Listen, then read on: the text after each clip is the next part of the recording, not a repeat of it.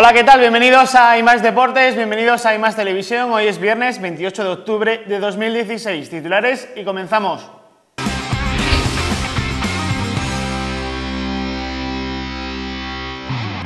Hoy nos acompaña en IMAX Televisión Gonzalo Almansa, jugador del balomano caserío.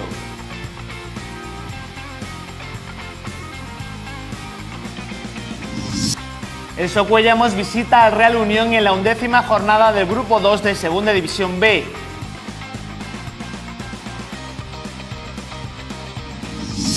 Balomano Alarcos y Balomano Caserío juegan a domicilio este fin de semana.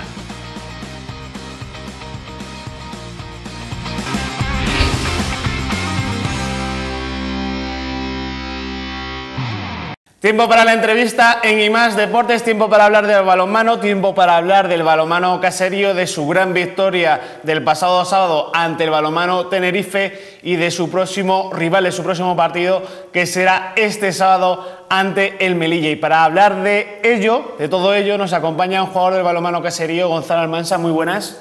Buenas, muchas gracias. Eh, partido impresionante contra el balonmano Tenerife, uno de los gallitos de la categoría que se ha reforzado mucho, ha empezado de manera irregular, eso es cierto, pero el equipo jugó muy bien. ¿eh?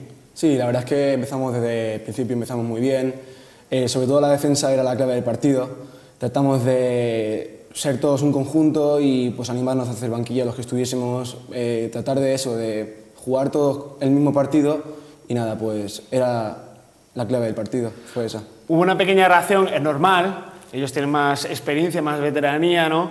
En la segunda mitad intentaron conseguir el empate, pero ahí estaba la defensa y el portero, sobre todo. Sí, como bien nos dijo Santi en el descanso, que era normal que en la segunda parte pudieran tener una misma reacción y que nos pusieron las cosas difíciles, pero sí, entre Arturo y la defensa, como ya te he dicho, eh, pudimos lograr la victoria. Un momento clave en la segunda mitad, eh, hubo una eh, doble expulsión por dos minutos a un jugador, a un compañero tuyo y a Santi Urdiales por protestar.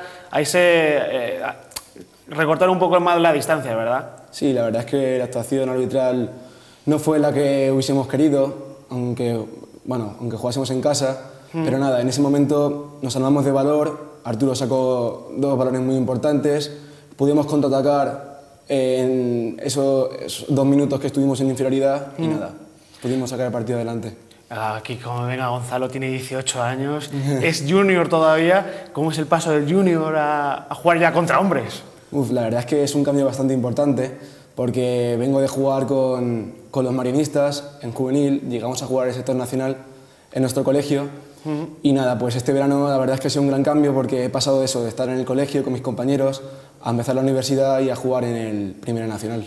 ¿Y qué tal el cambio? ¿Bien? Se, sufre al principio, ¿no? Al principio fue, fue un poco difícil, la pretemporada pues ha sido muy dura, Santi nos ha exigido mucho, pero nada, ahora ya estoy mucho más contento. Oye, ¿qué tal eso de que te entrene un exjugador que ha sido uno de los mejores de, a nivel nacional, incluso mundial? Pues un privilegio, la verdad es que Mm, Santi nos intenta ayudar mucho a los extremos, sobre todo tenemos entrenamientos específicos para nuestro puesto eh, y nada, pues nos ayuda a eso, a mejorar día a día y a que confiemos en nosotros mismos. Sobre todo eso, porque Santi así fue eh, extremo y lo seguirá siendo porque eso nunca se, se acaba, pero eh, supongo que para ti que juegas en esa demarcación será más importante que tu entrenador te entienda más, ¿no? Claro, claro, además que cuando fallamos en los entrenamientos o cuando ve que estamos, no sé, cabizbajos o lo que sea, él viene a ayudarnos, nos, nos entiende y nos apoya. ¿Te dado algún, consejo que puedas contar ahora? Que ahora mismo no nos escucha Santi, ¿qué puedes decir? Nada, llevamos poco tiempo aún, pero me imagino que, conforme vaya pasando los días y los entrenamientos nos irá ayudando cada vez más. Sobre todo lo que quería es que saltemos y que observemos al portero. Buena temporada hasta ahora, eh, Gonzalo, porque el equipo eh, está respondiendo. Se, cosechó una derrota a domicilio, pero, pero la verdad es que la dinámica del equipo es muy buena hasta ahora. Sí, sabíamos que iba a ser muy difícil ganar todos los partidos. Esa es la dinámica que queríamos llevar, ir partido a partido, como bien nos dice Santi, y nada, mejorar. Es normal que a veces salgan las cosas un poquito regular. Bueno, yo agradezco a Gonzalo que, que esté este viernes con nosotros porque dentro de pocas horas, a las 3 de la madrugada creo que me ha dicho, ¿no? Sí, nos vamos para Melilla. No, o se van para Melilla porque este sábado eh, el balonmano Caserío juega contra el Melilla, penúltimo clasificado, pero no hay que confiarse, Gonzalo. No, no, para nada. Eh, tiene una primera línea muy buena, tienen dos jugadores muy rápidos y fintadores. Y nada, la verdad es que es va a ser un equipo difícil y sobre todo allí en Melilla, que pues eso, pues es un partido distinto, nunca hemos tenido la oportunidad, muchos de mis compañeros y yo, de poder viajar hasta allí y nada, pues esperemos que se dé bien la cosa y nos vamos con los dos puntos. En Melilla todavía no ha conseguido vencer, eh, perdió la temporada, la jornada pasada contra el Bolaños por dos goles a cero, bueno, perdón, perdón, por dos goles de diferencia, eh, pero eso, que no hay que confiarse, sobre todo porque juega como local y se querrá desquitar también. Sí, sí, como bien dicen también los veteranos, el partido va a ser muy difícil, han ido varios de ellos a jugar a Melilla varias veces. Y nada, pues la verdad es que partidos como el de Bolaños y alguno que otro más han estado a punto de ganarlos y nada, pues todo puede pasar. Para que vean que la vida de deportista es sacrificada, se van a las 3 de la madrugada y llegaréis cuando, cuando lleguéis, ¿no? Sí, sobre las 2 de la tarde podremos llegar a Melilla. Para, comer y estirar un poco las piernas y, ya pensando en el partido y a jugar, ¿no? Exacto. ¿Qué, reto tiene Gonzalo Almansa para esta temporada en el mano caserío? Pues sobre todo mejorar, la verdad es que es una oportunidad única poder jugar con los que estoy jugando ahora mismo porque jugadores como Jaime Torres, Alex Abad, eh, José Jiménez, todos esos jugadores, Alberto Relucio, Javi, pues han sido siempre, pues, por así decirlo, nuestros ídolos, los jugadores a seguir porque algunos de mis compañeros y yo somos muy jóvenes y lo que queremos es aprender mucho de ellos y mejorar día a día. Y pues, para el equipo en general, para el balonmano caserío, ¿qué, ¿qué aspira este año? Ir partido a partido, pero soñar también un poquito, ¿no? Claro, claro. La verdad es que hay que soñar, es lo, es lo más importante, ir partido a partido, tratar de mejorar. Y bueno, lo que nos dice Santiago es que nos olvidemos de la clasificación, eso va aparte, mm. porque en, como, como bien nos dice él, en un partido podemos pasar de ser segundos a quintos y viceversa. Sí, hay mucha igualdad. De hecho, ahora mismo el balonmano caserío es cuarto clasificado pero a un punto nada más del tercero, con lo cual la igualdad es máxima porque luego vienen, eh, hay cuatro equipos eh, eh, empatados a ocho puntos, hay otros dos a siete, con lo cual en un partido, como tú dices, puedes pasar del tercero al sexto. Sí, además que tenemos la oportunidad de poder jugar el partido de Villafranca que nos habían aplazado, ¿Mm? así que esos dos puntos, si los conseguimos, podemos estar aún más arriba. Mira, esto es exclusiva. ¿Se puede jugar la primera jornada, Gonzalo? Se va a jugar. ¿Se va a jugar? ¿Sabemos ya la fecha? Eh, no se sabe aún la fecha, está por confirmar, pero sí, la verdad es que estamos muy contentos de poder jugar el partido y nada. Yo alegro de que hayas contado aquí primero que el partido entre el balonmano Cáceres y el Villafranca se va a jugar ese viaje a Extremadura, que era la primera jornada que recuerden que no se pudo disputar por temas burocráticos, pero que al final el balonmano Caserío va a poder disputar. Muchas gracias Gonzalo, mucha suerte, eh, te llevas películas, de, almohada que te para el viaje. un poquito de todo. Un poquito de todo, pues buen viaje y que volváis de Melilla con la experiencia de, volar con el equipo, pero también con la, con la, victoria y los dos puntos. Sí, muchísimas gracias. Pues vamos a continuar este viernes con toda la actualidad del fin de semana de las competiciones oficiales que nos traen en fútbol, en fútbol sala y en balonmano.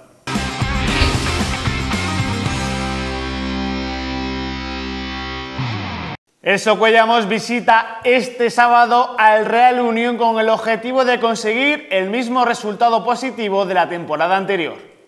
Conseguir por primera vez la segunda victoria consecutiva en la temporada es el objetivo del Socuellamos que visita este sábado a un duro rival, al Real Unión. Como cada temporada, el equipo dirigido por Asier Santana es muy fuerte como local con cuatro victorias y un empate hasta el momento, el cosechado por el Albacete. Por su parte, el Socuellamos visita Irún con la necesidad de sumar y escapar de los últimos puestos de la clasificación. Por esta vez, Cosín no tendrá bajas por sanción para viajar al País Vasco. La temporada anterior el Socuellamos consiguió un buen empate que vendría de perlas en estos momentos. El punto anecdótico del encuentro es que el Socuellamos nunca ha ganado cuando el colegiado catalá Ferran ha dirigido un encuentro a los manchegos el sábado a las siete y media de la tarde en el Estadio Gal Real Unión Socuellamos.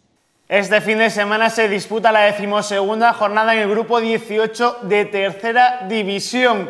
Los cinco equipos de la provincia de Ciudad Real juegan como locales. El Carrión abre una semana más la jornada. El equipo de Chule recibe este sábado al Villarrobledo sin Moraga sancionado por su expulsión ante el Almansa. Por tercera semana consecutiva el Carrión recibe a un rival de la parte alta de la tabla.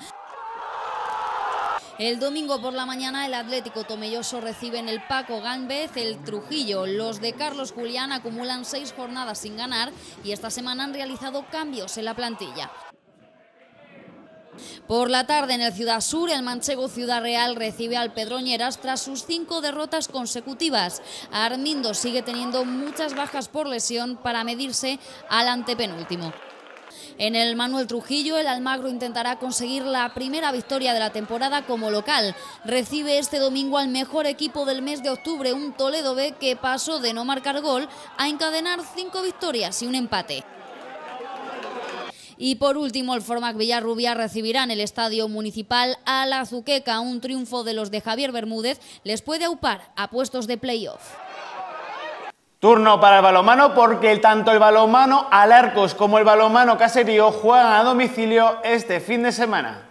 El balonmano Alarcos visita este sábado al líder de División de Honor Plata, el filial del Barcelona Lassa.